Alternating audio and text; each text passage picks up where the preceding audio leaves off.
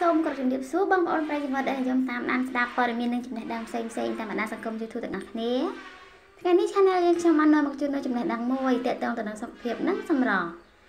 អស្ចារ្យណាស់ផ្លែល្ពៅតែមួយមុខមានប្រយោជន៍ដល់ថ្នាក់នឹងដើម្បីឲ្យដឹងកាន់តែច្បាស់ពីអត្ថប្រយោជន៍របស់ល្ពៅសូមតាមដានស្ដាប់ជាមួយជាមួយខ្ញុំទាំងអស់គ្នាដោយសារតែរសជាតិដ៏ឆ្ងាញ់និងក្លិនដ៏គួរឲ្យចង់ទទួលទាន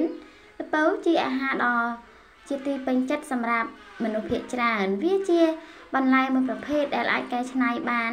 ច្រើនយ៉ាងរៀបរាប់ចាប់តាំងពីការប្រើជាមួយ ជាមូលដ្ឋានគ្រឹះសម្រាប់អាហារ ជាបង្អែម និងជាឱសថព្យាបាល1សមាសធាតុសំខាន់សំខាន់ក្នុងផ្លែល្ពៅ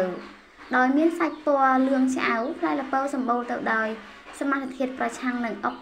ស៊ីតកម្មព្រមទាំងបេតាការ៉ូតែនអាល់ហ្វា ការ៉ូតែន សារធាតុសរសៃវីតាមីន C វីតាមីន E ប៉ូតាស្យូមម៉ាញ៉េស្យូមនិងអាស៊ីតឬវីតាមីន B5 អត្ថប្រយោជន៍សុខភាពរបស់ល្ពៅបេតាការ៉ូតែន គឺជាវីតាមីនមួយប្រភេទដែលអាចបំលែងដោយរាងកាយទៅជាវីតាមីន A វីតាមីន A នេះជួយជំរុញភ្នែកឲ្យមានសុខភាពល្អនិងធ្វើឲ្យ ប្រកបនៅមុខងារប្រព័ន្ធការពាររាងកាយលើសពីនេះទៀតបេតាការ៉ូតែនក៏អាចជួយប្រឆាំងនឹងការរលាក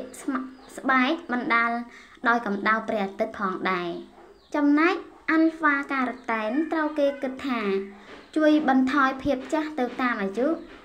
ក៏ដូចជាកាត់បន្ថយអត្រាកើតមានជំងឺភ្នែកឡើងបាយនិងទប់ស្កាត់ការដុះដុំសាច់ផងដែរ រីឯសារធាតុសរសៃវិញត្រូវគេដឹងថាជួយកាត់បន្ថយកម្រិតខ្លាញ់កូលេស្តេរ៉ុលអាក្រក់ការពាររាងកាយប្រឆាំងជំងឺបេះដូងជួយគ្រប់គ្រងកម្រិតស្ករក្នុងឈាមជំរុញប្រព័ន្ធរំលាយអាហារឲ្យមានសុខភាពល្អនិងដើរតួនាទីយ៉ាងសំខាន់ក្នុងការបញ្ចុះទម្ងន់ប៉ូតាស្យូមនៅក្នុងផ្លែល្ពៅជួយធ្វើឲ្យមានតុល្យភាពកម្រិតសារធាតុរាវក្នុងរាងកាយនិងធ្វើឲ្យឆ្អឹងរឹងមាំ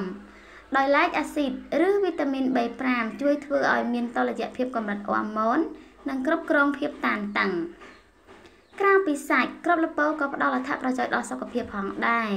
ដោយវាអាចជួយកម្ចាត់ចោលពពួកបាក់តេរីសិតក្នុងពោះវៀន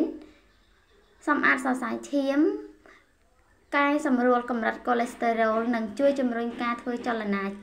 របស់តម្រងនោមក្របលពៅទម្ងន់1តោន ផ្ទុកសារជាតិសរសៃ1.7ក្រាម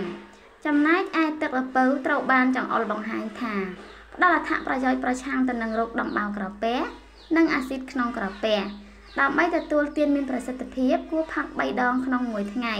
កន្លះម៉ោងមុនពេលទទួលទានអាហារចាដូច្នេះអត្ថបទតេតើជាមួយនឹងសារៈប្រយោជន៍របស់ផ្លែល្ពៅមានតែប៉ុណ្ណឹងសូមបងប្អូនជួយ like share និង subscribe ដើម្បីទទួលបាននូវចំណេះដឹងនិងព័ត៌មានថ្មីៗទៀត សូមអរគុណនិងសូមជម្រាបលា